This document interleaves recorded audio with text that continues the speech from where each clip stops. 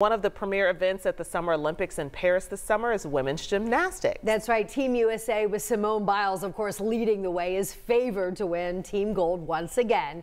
And then today, new news. We learned that Gabby Douglas is hoping to join Simone on the team and compete with her this summer in Paris. Yep, you heard it. Gabby returning to her first competition in eight years. That'll be in Louisville later this month.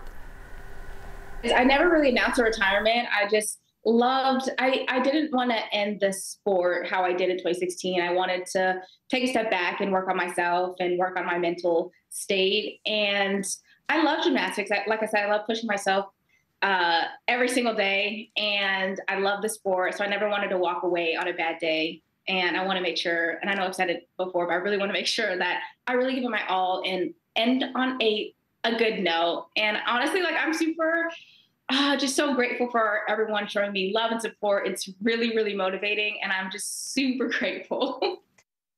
Oh, she looks so happy and energized there. She is going to be the oldest gymnast competing.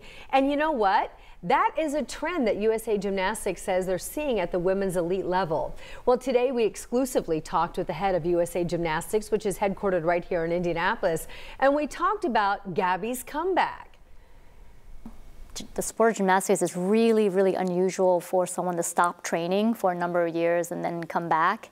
Simone did it for a couple years and she came back better than ever. And uh, so Gabby's been out of, out of it longer than that even. That's very unusual to see, but it, it's, it's historic. She's 28 years old. She's coming back to make a, a go for the Olympics, and I think she's going to be tremendous. Do you think she has a shot? I, I believe that she has a shot, just like so many other gymnasts who are vying for a spot on the Olympic team. One of our blessings, as I said before, is that we have a lot of depth and talent.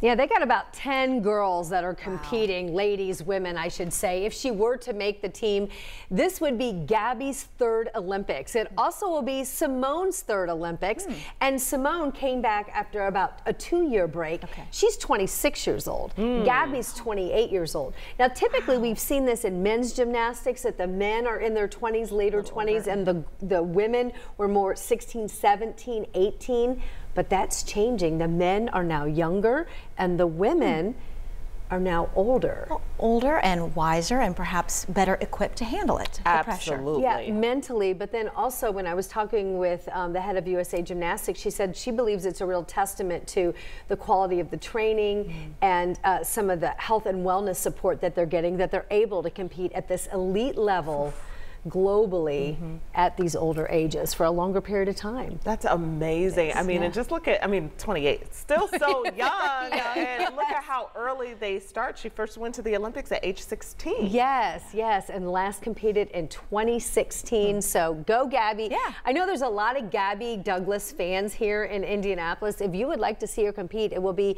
February 24th in Louisville. So okay. an easy drive, very accessible to see some really high level gymnastics competition always Grace's favorite. Yes. So go, Gabby. Yeah. Uh,